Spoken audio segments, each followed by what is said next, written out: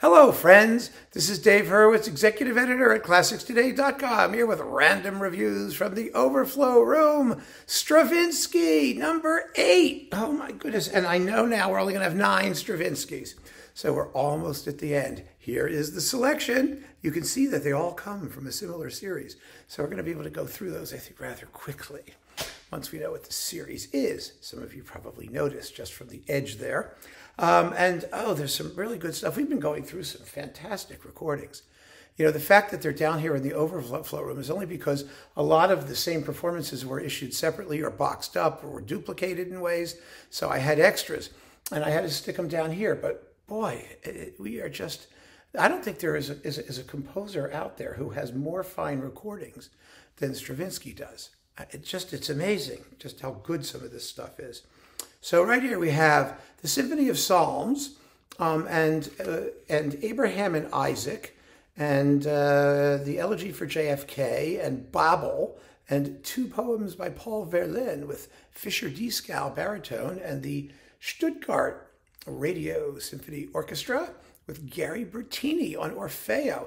This was 1982. These were the, you know, these recordings came out at the very beginning of the CD era when you know independent labels started making them and they were issuing some wonderful stuff. I don't think this is still around but that's why i kept it you know? And then we've got uh, what's this? Great performances special bonus. Uh, we've got petrushka with bernstein and pulcinella suite with bernstein and bernstein discussing stravinsky and the petrushka ballet which is fun. These these talks, of course, are always wonderful, enjoyable, and the performances are really good. This is Petrushka is absolutely splendid. So that's good to have. Now we here we go. Are you ready? We have a whole pile of things here, some of which are you know with the others, and some of which are not. This is a lot of the Robert Craft Stravinsky edition, the original one that he did for Music Masters uh, mostly with the Orchestra of St. Luke's. And these are absolutely first class for the most part. Um, and like I said, some of them got duplicated. I said this before in the last video talking about Robert Craft. Um, I, I, I, think he owned the rights to some of this stuff, or, or, or, some of it reappeared on Koch, and then it reappeared on Naxos, and it all got recoupled. And then there were new recordings and remakes with different orchestras, mostly in London. And so I, I, I am completely confused as to Robert Craft's Stravinsky recordings, but there's a lot of them and they're very reliable, except for the early ballets, where he's just not that exciting, and others have done it better. Not necessarily with more fidelity to the score or accuracy um, in terms of, you know, certain aspects of the text, but just more exciting to listen to. Here's the Rake's Progress. This was always a very good performance. Um, it has like singers. It's an opera. Now let me see which singers it has. Um, we have to find out. It's in the booklet here.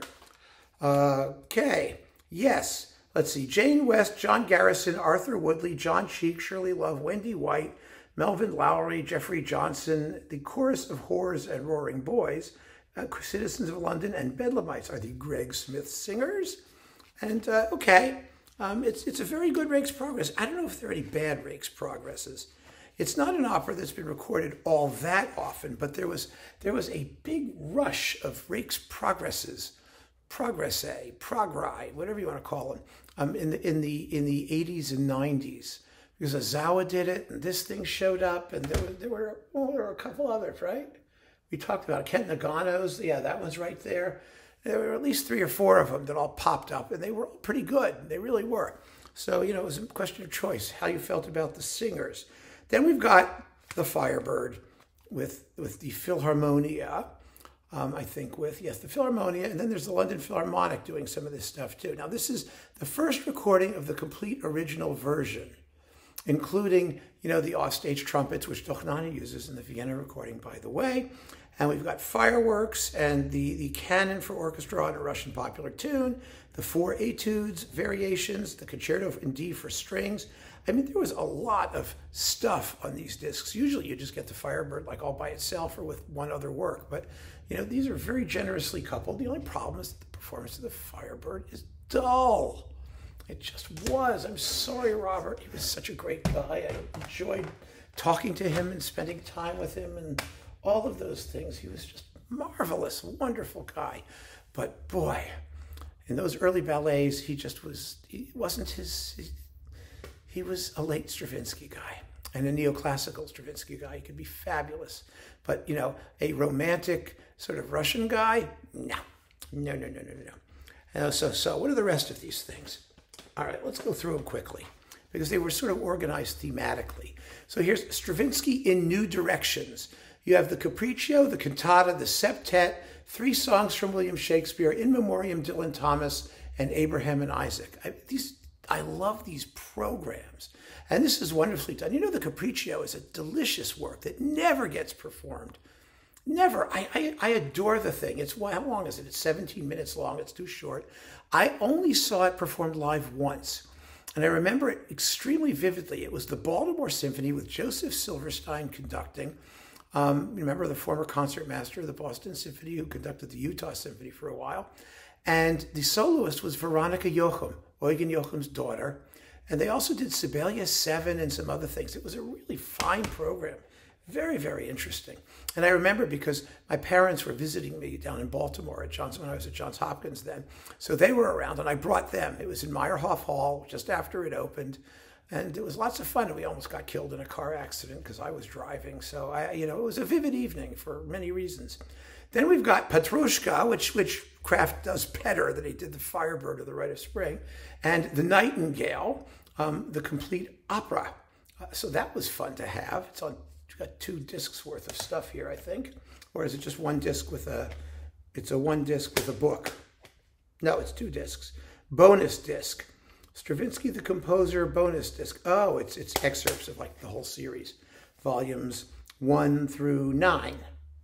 Okay, that was volume ten. So that was like the next next wave. Then we've got the violin concerto with soloist Krzysztof Smietana and the Ebony Concerto and The Flood with Robert Tear as Noah. And the clarinetist is Michael Wright. So that's Stravinsky, volume 11. So I think the earlier ones, no, here it is, volume 3. Persephone. Oh, you could never find Persephone. I mean, this is outside the Stravinsky edition, and I love Persephone. It's one of the few pieces with a narrator that doesn't make me want to run away screaming. The music is just beautiful. It's absolutely marvelous. And then we've got King of the Stars, Zvezdoliki, um, the symphonies of wind instruments, the concertino for 12 instruments, and the octet.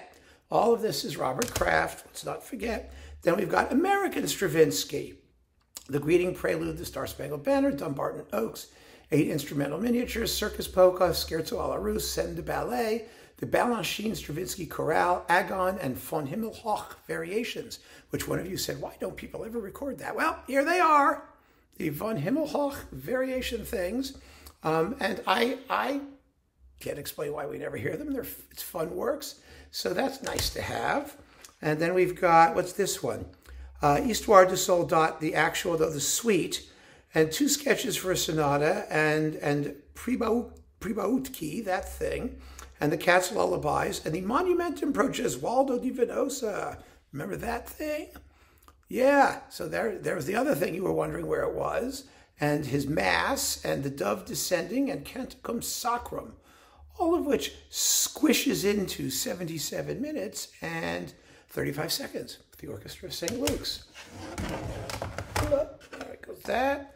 And then we have volume, this is volume two, the Pulcinella Suite, Symphony in C, Russian Peasant Choruses, Russian Sacred Choruses, and The Wedding, which Craft did probably better than anyone in the universe. It was his, his, one of his signature pieces and one of Stravinsky's greatest works, and he always made sure that it sounded like it.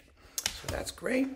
And then we've got Renard, Suites 1 and 2 for small orchestra, four etudes for piano, four Norwegian moods for orchestra, the, con- the concerto for two pianos, Ode, the Ode, which was originally film music, the triptych for orchestra, Ragtime for 11 instruments, piano rag music, and then, of course, Renard, wow. I keep these for those reasons, those wonderful collections of things. And finally, last but not least, Oedipus Rex, um, narrated by Paul Newman, which is really rather a cool performance of Oedipus Rex with, with, with uh, let's see, Oedipus is John Humphrey, Jocasta is Wendy White, Teiresias is John Cheek, and uh, it's the Orchestra St. Luke's, and it's great. Absolutely terrific. You also have the Symphony in Three Movements, Fanfare for a New Theater, Fanfare for Three Trumpets, Apollo, Requiem Canticles, Symphony of Psalms on disc two, and The Rite of Spring. Not very excitingly done because Craft just didn't in that particular work. So those are the Robert Craft Stravinsky things that were on Music Masters. Um, and it was a wonderful series. I wish it would come out as it was originally done in a box because it, it really is a great way to explore Stravinsky with familiar and unfamiliar things. It was a brilliant series. Okay, Stravinsky chamber music, music for violin and piano, the Suite Italienne, which is basically transcriptions of Pulcinella, the Duo Concertante, and the Divertimento. It's all charming stuff based on other music, and it's the Divertimento is from The Fairy's Kiss, and and you know it's like nice. What's this one? Oh goodness, do I have two of these? I have two of these. This was in the last video. Yes, dear. One of the cats is up there somewhere. Um, the Danse Concertante, Pulcinella, and Sibelius' Canzonetta with Avanti and Jukka-Pekka Saraste. How I got two of these, I have no idea. I don't know if I could even find the other one. Oh, there it is. It's right over there. Oh, well. The Rite of Spring with Chicago and Ozawa and fireworks. This is this is the uh, Basic 100 series. I think, wait a minute, let me see. Hang on one second, please. I just need to take this out because if I'm not mistaken, yes, the booklet note is by me. I have, oh, if I got to hear a story about doing this series, what a pile of hooey that was.